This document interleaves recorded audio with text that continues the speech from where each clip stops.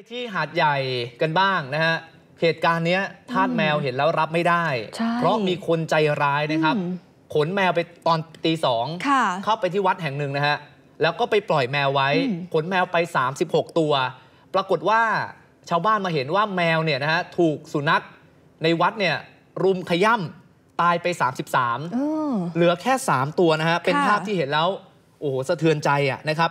เหตุการณ์นี้เกิดขึ้นภายในวัดทุ่งงายหมู่ 6 ตำบลทุ่งใหญ่ อำเภอหาดใหญ่จังหวัดสงขลา ไปพบซากแมว 33 ตัวนะครับ นอนตายเกลื่อนอยู่ที่วัด หลังจากที่ถูกฝูงสุนัขวัดเนี่ยรุมกัดแล้วก็รุมขย่ำเหลือรอดชีวิตเพียง 3 ตัวเท่านั้น กล้องวงจรปิดที่ป้อมของชุดรักษาความปลอดภัยหมู่บ้านที่อยู่หน้าวัดนะครับก็บอกว่า พบรถกระบะคันหนึ่งฮะเนี่ยฮะตามภาพนี้เลย ขับเข้ามาภายในวัดตอนประมาณสักตีสองปิดไฟหน้ารถด้วย ขนของมาเต็มกระบะท้ายรถเลยนะฮะซึ่งคาดว่าแมวเนี่ยน่าจะอยู่ในนั้น ใช้เวลาอยู่ในวัดประมาณสัก 15 นาที แล้วก็ขับออกไป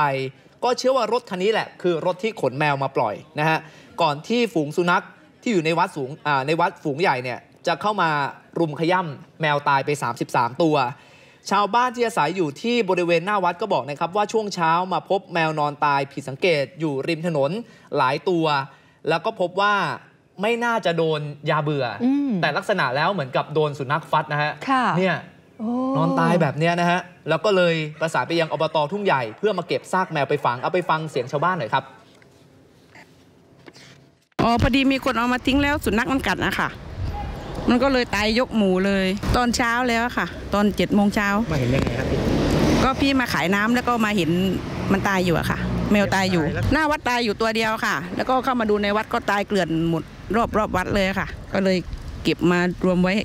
อยู่ตรงนี้ จะเป็นรถรถบอกยี่ห้อไม่ถูกอะค่ะ มันเป็นเหมือนรถคันมัดด้าเล็กๆอะค่ะอ๋อก็มามาทิ้งแล้วก็ไปเลยค่ะ ใส่กล่องนะฮะใส่กล่องแล้วก็ใส่ใส่กรงมาค่ะอืมเป็นกรงเหล็ก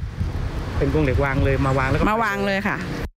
นี่ชาวบ้านเขาก็เล่าให้ฟังแหละค่ะ เพราะว่าเห็นความผิดปกติอืมคือมาตั้งแต่ขับรถแล้วนะครับปิดไฟหน้ารถมา อันนี้ก็ดูมีเจตนาที่ไม่ดีแล้ว แล้วมาตีสองอะโอ้ถ้าจะบอกว่ามาทำบุญก็คงจะไม่ใช่ ใช่แล้วข้างหลังรถนี่ก็มีพกอะไรมาด้วยเนี่ยแหละค่ะ เรื่องนี้นะคะผู้ใหญ่บ้านหมู่ที่ 6 ค่ะ บ้านทุ่งงายนะคะตำบลทุ่งใหญ่ก็คือนายสุชาติมณีโชค บอกว่าวันนี้จะนำชาวบ้านที่ไปพบสุนัขนอนตายเกลื่อน พบแมวเนี่ย ที่นอนตายเกลื่อนอืมเป็นคนแรก ให้ไปแจ้งความกับเจ้าหน้าที่ตำรวจที่สพคอหง พร้อมกับหลักฐานต่างๆ อย่างพวกกล้องวงจรปิด ภาพรถที่มีการนำแมวมาทิ้งไว้ในบริเวณวัด เพื่อให้ตำรวจเร่งติดตามตัว แล้วก็ดำเนินคดีอย่างถึงที่สุด เพราะว่าชาวบ้านก็บอกเป็นเสียงเดียวกันค่ะว่าเหตุการณ์ครั้งนี้ไม่มีใครจะรับได้อืมแล้วก็รถคันนี้ก็น่าจะมาจากในเมืองอาหาดใหญ่ด้วยแล้วค่ะ เรื่องนี้ผู้ใหญ่บ้านบอกด้วยนะคะว่ามาตรการในการควบคุมสุนัขจรจัดภายในวัด ตอนนี้ก็มีอยู่30 กว่าตัว ก็ได้หารือกับทางเจ้าอาวาสแล้วก็คณะกรรมการวัด เพื่อจะจัดสร้างคอกเลี้ยงสุนัขเหล่านี้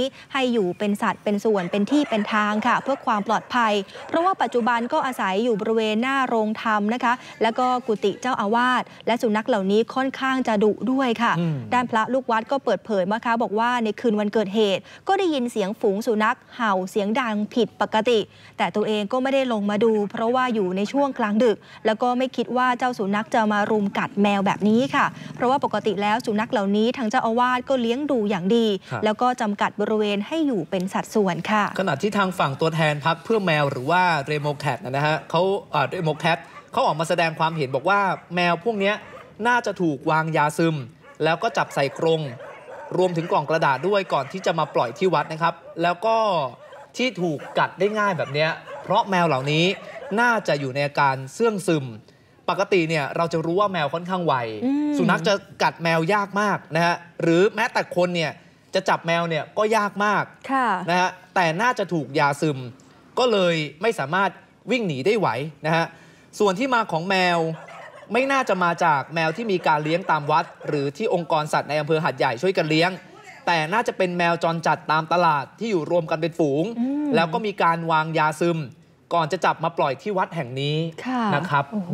นี่แต่บางตัวก็ยังตัวเล็กๆ อยู่เลยนะครับหลายคนก็สงสัยว่าไปจับมาจากไหนกันได้ตั้ง 30 กว่าตัวครับสุดท้ายก็ตายไปกว่า 33 ตัวแล้วค่ะ แต่ตอนนี้ชาวบ้านก็แจ้งตำรวจให้เอาผิดแล้วนะครับ ค่ะคราวนี้ค่ะไปพาไปที่ชัยนาทกันบ้าง มีสุนัขจรจัดราวกว่าพันตัวด้วยกันอืมสภาพนี่อิดโรยเลยแล้วก็ครับคุยหาเศษอาหารกันนะคะ แล้วชาวบ้านก็บอกว่าที่ตรงนี้เนี่ยมีคนใจบาปนำสุนัขมาปล่อยทิ้งทุกเดือนเลยละค่ะ นี่ทีเป็นที่บริเวณบ่อขยะเขาพลองนะคะ ในตำบลเขาท่าพระอำเภอเมืองจังหวัดชัยนาทพอไปดูนี่สุนัขเยอะแบบนี้ นับดูคร่าวๆ ก็พันกว่าตัวละค่ะ สภาพก็อดอยากต้องคุยหาเศษอาหารจากกองขยะที่หน่วยงานชุมชนต่างๆ เขานำมาทิ้งไว้ แต่ว่าที่บริเวณนี้มีจำนวนสุนัขมากนะคะทำให้เจ้าสุนัขก็ต้องยื้อแย่งอาหารกัน บางส่วนก็เจ้าสุนัขก็สภาพผอมแห้ง แล้วก็ขาดอาหารและน้ำเพราะว่าบริเวณนี้ก็ไม่มีแหล่งน้ำสะอาดให้กับเจ้าสุนัขได้ไปดื่มกันละค่ะ นอกจากนี้นะคะชาวบ้านเขาบอกว่าที่กังวลที่สุด ก็คือสุนัขเหล่านี้มันขยายพันธุ์กันเร็วมาก สังเกตได้จากสุนัขรุ่นเด็ก ที่มีปริมาณเพิ่มขึ้นอยู่อืมตลอดเวลาค่ะ ซึ่งในอนาคตภาวะขาดอาหารก็น่าจะยิ่งทวีความรุนแรงมากขึ้นไปอีก โดยเฉพาะยิ่งก้าวเข้าสู่หน้าหนาว แล้วก็หน้าแล้งที่กำลังใกล้เข้ามาถึงด้วย อาจจะทำให้สุนัขล้มตาย แล้วก็เกิดโรคระบาดขึ้นได้ด้วยค่ะ ผู้สื่อข่าวไปสอบถามชาวบ้านนะครับ ที่เก็บของเก่าอยู่บริเวณบ่อขยะแห่งนี้ก็บอกนะครับว่าแต่ละเดือนเนี่ยจะมีคนนำสุนัขมาปล่อยจำนวนนับ 10 ตัวเลยอืมก็ยิ่งทำให้สุนัขเนี่ยเยอะมากขึ้นค่ะ หลายครั้งนะครับที่สุนัขตัวที่เข้ามาใหม่เนี่ยจะถูก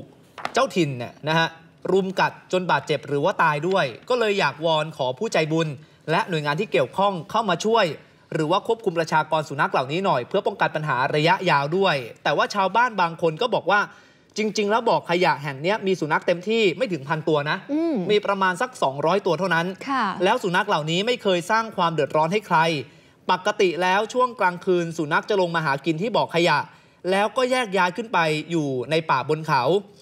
สุนัขส่วนมากเนี่ยจะไม่ค่อยวุ่นวายพอเห็นคนมาเนี่ยเขาก็จะวิ่งหนีกันแบบนี้อืมอืมแต่สุดท้ายก็ต้องระวังละกันถ้าเกิคดรับว่าไปกัดใครขึ้นมาเนี่ยเรื่องของโรคพิษสุนัขบ้าอืมอันนี้ก็ต้องระวังกันนะ เพราะก็ไม่รู้ว่าสุนัขเหล่านี้ถูกฉีดยาแล้วหรือยังครับคนที่อยู่ในพื้นที่ก็ต้องช่วยกันระมัดระวังด้วยละค่ะอืมล่าสุดเรื่องนี้คุณนพพรแก้วกนิษฐารักษ์ครับปศุสัตว์จังหวัดชัยนาทพร้อมด้วย คุณธรรมศักดิ์อุ่มอยู่ นายกองค์การบริหารส่วนตำบลเขาท่าพระ ก็นำคณะลงพื้นที่ตรวจสอบข้อที่จริง จากการตรวจสอบนะครับก็พบว่าปริมาณของสุนัขจรจัดมีไม่ถึง 1,000 ตัว แล้วก็ทางเจ้าหน้าที่เตรียมแผนเข้าควบคุมประชากรสุนัข ในพื้นที่บ่อขยะแห่งนี้แล้ว ที่ผ่านมาทางสำนักงานปศุสัตว์จังหวัดชัยนาทก็ลงพื้นที่มาฉีดยาป้องกันโรคพิษสุนัขบ้า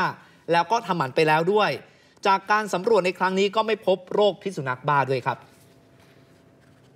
คือจริง ๆ แล้วมันมันไม่ได้เป็นจริงๆเลยก็อย่างที่เราเห็นเห็นๆเนี่ยใช่ไหมเพราะจริงๆผมก็บริษัทเนี่ยก็ทำร่วมกันมานะ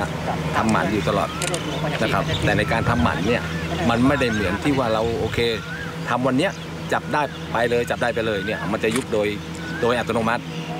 แต่ถ้าเกิดว่าเราทำหมันเนี่ยมันไม่ใช่ทำหมันวันเนี้ยแล้วไอ้ตรงที่ท้องอยู่เนี่ยมันก็ท้องมันก็คลอดออกมามันก็อาจจะมีเพิ่มบ้าง แต่ไม่ได้มากอย่างที่อ่า ไปลงข่าวกันว่าเป็นพันตัวเนี่ยมันเป็นไปไม่ได้ ก็ไม่ได้ฟังฟังความเดือดร้อนให้ใครนะฮะเพราะว่าผมจริง ๆ แล้วเนี่ยผมขับผ่านตลอด ผมก็เห็นนะฮะเขาก็ไม่ได้ไปวิ่งผ่านให้รถชนหรือรถเฉียวนะฮะเขาก็จะอยู่ตามป่าของเขาดูรายการสดช่อง 118 พร้อมกันได้ทุกช่องทางดังต่อไปนี้ หรือดูรับชมย้อนหลังได้ที่ Daily Motion และ YouTube 118อย่าลืมกด Subscribe YouTube ช่อง 118 เพื่อติดตามข่าวสารตลอด 24 ชั่วโมง